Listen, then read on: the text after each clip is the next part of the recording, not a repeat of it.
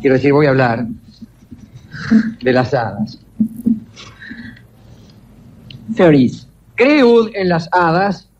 Se llama esta reflexión. ¿Ud cree en las hadas, Dorio? Ya. Bueno, pues Conan Doyle le creía también, ¿Cómo no? lo cual no, no quiere decir nada. Salvo que Conan Doyle creía en las hadas. Sí, no más eso. Pero creía en muchas cosas, creía en el espiritismo. Él estuvo muy relacionado con, con el mago, Houdini, quien era una especie de refutador de leyendas, porque tenía muchas ganas de creer, Houdini. Había perdido a su madre y quería comunicarse con ella. Y como él era experto en estas cosas de la magia, pues se dedicaba a desenmascarar timadores que se disfrazaban de mediums o de espiritistas que, que se comunicaban con el más allá. Y ahí conoció a Conan Doyle, que había perdido un hijo Sí. y que andaba también en ese asunto. Pero Conan Doyle era más crédulo. Pero vamos a hablar de las hadas. Hay algunos libros. Hay un libro de Evans Benz que se llama La fe en el mundo de las hadas en las regiones celtas. Mm. Y dice que nunca ha existido un pueblo civilizado que no creyera en ellas. Lo cual tampoco quiere decir más que eso. Que nunca ha existido un pueblo ci- civilizado que no creyera en ellas.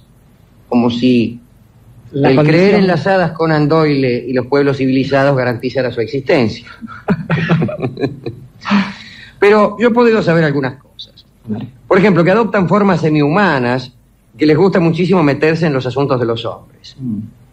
que utilizan sus poderes para inmovilizar a la gente, para robar cosechas, para matar ganado, para acarrear mala suerte a las personas. Son poderes mágicos, evidentemente. Hay incluso algunas hadas cuya aparición anuncia la próxima muerte de alguien. Desde luego hay algunas hadas buenas, como sabemos todos los que hemos leído algunos cuentos, que ayudan. Y también hay hadas malísimas. Algunas conceden dones, limpian la casa cuando uno se va. Uno se va, vuelve, la casa está arreglada. Bueno, han sido las hadas. Con razón. Yo que creía que... Sí. Bueno, eh, pero lo que hay que decir es que no hay una hada totalmente buena. No hay hada buena. No, señor. Aún las mejores de ellas son peligrosas, caprichosas, malévolas y capaces de cualquier traición, de cualquier eh, acto eh, de, de malévola pasión. Hay te- también entre las filas de las hadas, aunque no nos ocuparemos de ellos hoy, silfos, duendecillos, elfos, trasgos, espectros, etc. Ahora, donde han tenido más éxito las hadas, si bien, como dice el señor Benz, eh, todas las naciones civilizadas han creído en ellas, es en Inglaterra, mejor dicho, en las Islas Británicas. Eh, y las más bellas hadas parece que pro- provienen de Irlanda. Es un lugar que a uno le gusta mucho por distintas razones. Sí. Eh, son pequeñas criaturas conocidas con el nombre, y discúlpenme los irlandeses que anden por aquí, pero nosotros sospechamos algunos idiomas, aunque no hacemos concursos de pronunciación. Son conocidas con el nombre de Dana Oshi. Vaya a saber. Vaya a saber cómo se dice baile atacleat, es Dublín. Sí. Vaya a saber. Dublín. Eh, Dublín. Dice que son eternamente jóvenes, que son muy bellas, que visten trajes enjollados, que les encanta la música, bailar, cazar. Su diversión favorita son los cortejos. Organizan con el mínimo motivo desfiles, este, y es allí donde es más factible verlas. Desde luego, las hadas no se dejan ver fácilmente, porque si no los noticieros estarían, estarían llenos de imágenes de hadas. Eh, pero si hay algún momento en que es relativamente fácil verlas, es cuando organizan esos cortejos, esos desfiles lujosos a los que son tan adeptas. Eh, aún las más encantadoras, como se ha dicho, son traicioneras, y algunos aseguran que provienen directamente del reino de los muertos. Una persona hechizada por la belleza de las hadas puede ir directamente a la ruina. Se, se cuenta en Irlanda la historia de un hombre que tenía una esposa que cayó en poder de las hadas. Entonces el tipo para rescatarla supo que tenía que esperar a la víspera del Día de Todos los Santos y echar un jarro de leche, porque ahí organizaban un cortejo, iban a pasar seguramente con su mujer, y el tipo tenía que echar un jarro de leche fresca sobre su mujer cuando pasase. Pero parece que había agua en la leche, sin que el tipo lo supiera. Eso es lo que sucede con los malos lecheros. Sí. Y entonces eso rompió el hechizo, la mujer del tipo cayó del caballo, las hadas la rodearon y después eh, la mataron redondamente. El hada tutelar de Escocia es la Banshee, que quiere decir algo así como la mujer hada. Y según dicen, su gemido advierte una, una- una muerte inmediata. Mm. Y si gimen varias de ellas al mismo tiempo, es que va a morir una persona sagrada.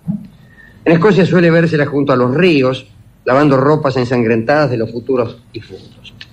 Y uno puede perseguirlas, y si es que les da alcance, puede obligarlas a revelar el nombre del próximo final. Dicen que tienen una sola ventana en la nariz, digo para que ustedes las reconozcan. Un solo agujero en la, en la nariz tienen, ¿eh?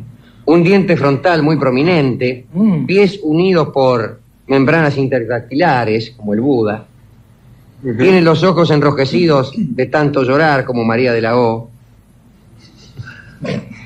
Quiero referirme a otro libro. Catherine Briggs será Sí. la que escribió Los habitantes del país de las hadas. Y ahí hablan de los Baobhansit o Gleistics, que son espíritus femeninos, especie de vampiros, que toman forma de bellas mujeres, invitan a los hombres a bailar, eh, voulez-vous danser, vamos a milonguear un rato, qué sé yo, y los tipos empiezan a bailar con las hadas y estas le chupa la sangre, por Ajá. así decirlo. Eh, la mayoría de las hadas visten de verde, miren los datos que le estoy dando, con colgaduras brillantes. Hay excepciones, desde luego. Los duendecillos pueden aparecer, sin embargo, desnudos. Eh, Son muy pequeños. Sí. Eh, las hadas femeninas pueden ser delicadas y frágiles, incluso tan pequeñas como para meterse en el interior de una flor. Es decir, una cosa chiquitita así, ¿eh? pero hay más grandes. Pero a veces son así de chiquitas, se meten en el interior de las flores y eso. Mm. Se interesan mucho por la fertilidad, pero son promiscuas. Digo, no sé por qué la conjunción adversativa. Se, interes- se interesan por la fertilidad y Y son, son promiscuas. promiscuas. Sin embargo, nacen relativamente pocas hadas. Y las que nacen, en general, son enfermizas y medio fuleras. Mm. No fuleras de belleza, sino fuleras en el sentido de enfermas. Mm. Eh, esto da lugar a un hábito desagradable. Las hadas están muy preocupadas por engrosar sus filas. Entonces, como les nacen pocas y medio pachuchas, tienen la costumbre de robar recién nacidos. Suelen dejar a cambio del recién nacido afanado una criatura tonta. Los habitantes de las Islas Británicas saben que todo padre víctima de esta sustitución deberá pegar y maltratar al pequeño que le han dejado, en cambio, porque la crueldad extrema para con un niño cambiado es el único medio para recuperar al otro. Aún así esto suele fracasar, tal el caso de la familia real británica. Sí.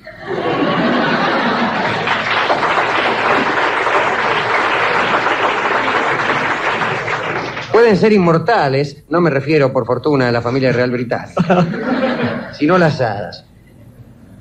Eh, pero ya se ha dicho que, están preocupadas por un cierto debilitamiento en su número. Entonces capturan madres en periodo de lactancia para que alimenten a sus retoños enfermizos. ¿eh? Capturan también jóvenes para que les sirvan de novios, o muchachas para que les sirvan de novias, o muchachones fuertes para hacerlos laburar. Detestan a los espías y fisgones, y el que lo, lo pescan junando ahí suelen castigarlo con la ceguera, como en general suele ocurrir con las personas pertenecientes al mundo que está más allá de lo cotidiano. A pesar de sus hábitos rapaces, son muy duras con los ladrones, o mejor dicho, con aquellos que tratan de robarles algo a ellas. Son y de este modo probarlas, saber cuál es su verdadera condición.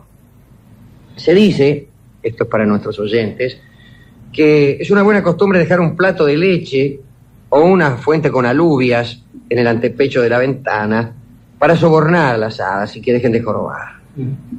Les encanta recibir regalos, vestidos, por ejemplo. Vuelan suelen hacerlo sobre hojas, sobre ramitas, ya que no sobre palos de escoba como las brujas. Hay hadas de gran cartel, como por ejemplo la reina Mab, que domina nuestros sueños, mide un par de centímetros solamente. Las primeras referencias literarias a las hadas aparecen allá por el siglo VIII, IX o X.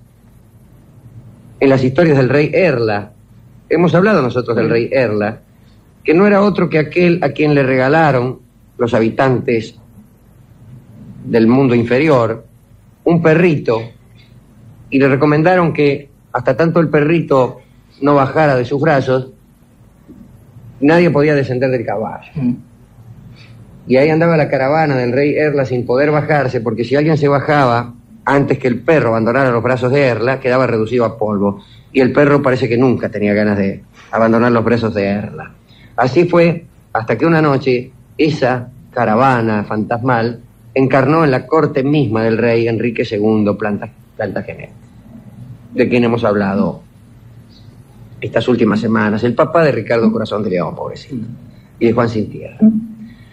Eh, un cronista del siglo XIII, Gervasio de Tilbury, fue el primero que se refirió a las hadas muy diminutas, decía que medían un centímetro y se llamaban portunas. Lindo nombre llamarse uno Portuno. Juan Portuno. Oportuno. Roberto Portuno. ¿Eh? Roberto Osvaldo Portuno. Claro. Roberto Oportuno. Está bien. Gracias.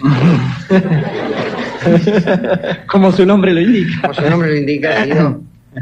Eh, me gusta la historia de Elidor, que era un chico que visitaba a las hadas en su mundo subterráneo. ¿De Aidor dijo? ¿Eh? ¿De? ¿La historia de? Elidor. Ajá.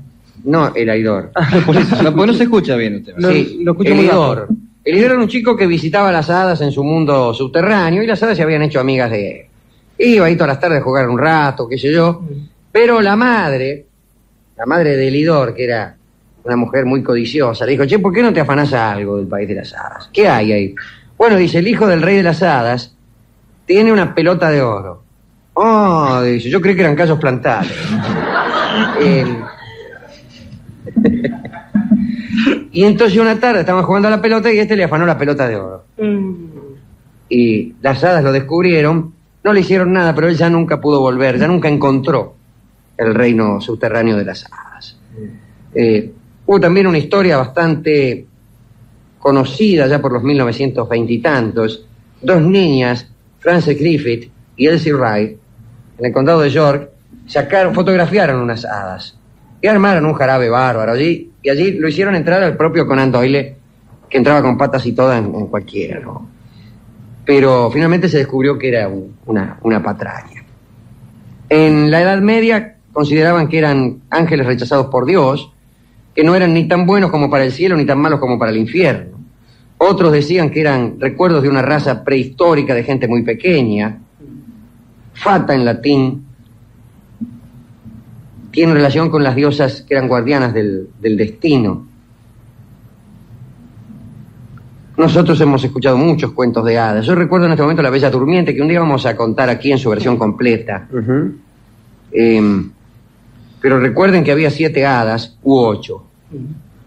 Creo que había siete buenas y una mala, o seis buenas y una mala, no alcanzo a recordar. Deberíamos recordar, Alejandro, también que eh, los irlandeses, que son aparentemente quienes más saben de este asunto, suelen llamar eh, hadas, utilizan para designar a esta especie la palabra fairy o fairies, Sí. este, que es una palabra que no tiene género, es decir, sirve para calificar tanto las criaturas de este orden, tanto masculinas como femeninas. Eh, y solamente cuando aparecen estas criaturas femeninas, aquí las llamamos hadas en general, dando por sentado que se trata de muchachas, ellos utilizan otro tipo de nombres. Y como dato accesorio, acá en este programa donde nos gustan las etimologías, fairy en el slang, en el argot este, inglés, sirve para designar a aquellas personas que en italiano se llaman Finocchio, Sí, o sí. PD en francés, o Borie en catalán, los que se sientan, como dice. Rolón acá. Eh, claro, cuando hablamos de hadas, hablamos también de hados. Lo que pasa es que para nosotros hado quiere decir fado, quiere decir este, otra cosa. Ajá. La, la Bella Durmiente tenía creo que siete hadas y una mala. Le habían dado dones a aquella princesa que le iban a hacer al rey. ¿no? Sí, en realidad se habían, se habían olvidado de invitar a una. Claro, claro. El rey convocó a todas las, mandó a buscar a todas las hadas que hubiera en el reino para que estuvieran como también es, su, eh, es una de sus debilidades, estuvieran auspiciando el nacimiento. Y que, para que le dieran un don cada una. Y una le dio la belleza, otra la bondad, otra el, el don del canto, otra la del baile, otra, este, qué sé yo, la hacendosidad, la inteligencia, la poesía, no sé qué. Pero se olvidaron de una vieja que hacía muchos años que estaba encerrada no sé dónde, y era muy mal llevada. Y la vieja llegó, bueno, le pusieron un plato, la invitaron al banquete, pero no pudieron darle un estuche de oro, porque no había más, como a las otras hadas. Entonces la vieja se embaló y dictaminó que esa chica se iba a pinchar con un uso. Un uso es una aguja. Esto, la palabra uso ha provocado la perplejidad de más de un niño, que le hablaban de un uso. Es como si uno pudiera pinchar con una costumbre. Bueno, Bueno, sí.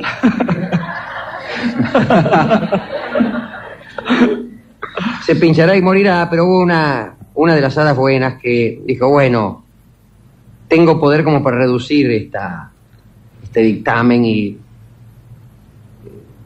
finalmente arreglaron que se iba a pinchar con un uso iba a dormir 100 años. Después sigue la historia, no se la voy a contar. no, ahora. por favor. Pero esa, por ejemplo, era una hada muy mala, negativa. Escribió mucho sobre, sobre las hadas. Voy a mostrarle un libro que me he comprado. Es este, el señor Robert Kirk. No hemos sacado de Kirk esto, ¿eh? no he leído todavía este libro. Pero sí sé algo. Eh, Robert Kirk escribió sobre la comunidad secreta, y la comunidad secreta no es otra cosa que el mundo de las hadas. Y el reverendo Kirk tuvo una muerte muy extraña. Que un día salió de su casa, una noche, tenía cuarenta y tantos años, en Aberfoyle se llamaba el lugar ese. Y dicen que se abrió la tierra y se lo tragó. Vamos. Otros este, dijeron que había tenido un ataque, no sé qué, pero la, la- la verdad parece que es que se abrió la tierra y se lo tragó. Y que las hadas dejaron un cambio, un changeling, un tipo, un, Un doble. sustituto, un doble, que fue el que enterraron, pero el verdadero Kirk estaba este, con las hadas. Incluso Kirk parece que se comunicaba y aparecía cada tanto a sus familiares y les daba instrucciones para que en las subsiguientes apariciones hicieran esta o aquella cosa para romper el, hechizo. Pero parece que los familiares no fueron nada hábiles. Por ejemplo, una vez se le apareció a su propio hermano, no al suyo. No, al pobre. Pablo. Y le dijo, mira, yo la próxima vez, Tomás, creo que se llamaba el hermano. Mira, Tomás, la próxima vez que me aparezca, tirame un anillo de hierro, porque el hierro eh, rompe los hechizos de esta gente. Y le indicó incluso cuándo iba a aparecer. Pero parece que en ese momento eh, o se detuvo en detalles secundarios. Eso, eso es lo que sucedió. y, y el hechizo no se rompió nada. Y ahí anda todavía el pobre Kirk. amigo Kirk. Esto es del siglo XVII. 17. eh, en poder de las hadas. Le quiero decir, y esto solo para Rolón, los demás pueden apagar la radio, que Robert Kirk conocía mucho la obra de otro amigo de este programa, de los menos conocidos de nuestros amigos, que era el, el reverendo padre Atanasius Kircher, Kircher. Atanasius Kircher, que también, entre otras muchísimas cosas, escribió sobre las hadas y los duendes. Un jesuita, como corresponde. Sí, jesuita. Vamos a dedicarle esto a alguien. Yo creo, No sé Alejandro, a quién. mire, yo creo, este, lo ha dicho muchas veces, nosotros este, hemos dado vueltas por este mundo en el tiempo que nos ha tocado, tratando de, si no comprobar algunos misterios, por lo menos buscar eh, la forma en que se nos habría de engañar a través de los numerosos trucos que suele, suele usar este tipo de gente que dice tener una conexión entre este mundo y el del más allá. Y yo tengo para mí que pese a que todavía no se nos ha demostrado fehacientemente nada, hemos visto apenas atisbos de alguna cosa más o menos extraña, Sí, pero Alguna cosa debe haber seguramente. bien, las cosas que hemos visto bien podrían ser engaños. Incluso nosotros mismos hemos podido llegar a reproducir algunos de esos trucos con, claro. con cierta pericia. Pero de todos modos, digo, creo que es menester recordar a esta altura de la noche que la condición humana no alcanza a explicar algunas cosas. Que si hay un misterio que sigue dando vueltas en torno de la cabeza de las personas que han escrito sobre todas estas cuestiones, es cierta condición, y esa condición de la que estoy hablando es la condición general de la feminidad. Quiero decir, nada podría explicar la existencia de algunos caracteres, de algunos rasgos de las mujeres, si no existiese otro mundo, otro tipo de criaturas que encarnaran súbitamente en esos seres, digo, en esa mitad de la humanidad que tanto nos desvela, para justificar la mayoría de sus actos, o por lo menos ese tipo de desvelos que hacen que se transformen de pronto en cosas más importantes.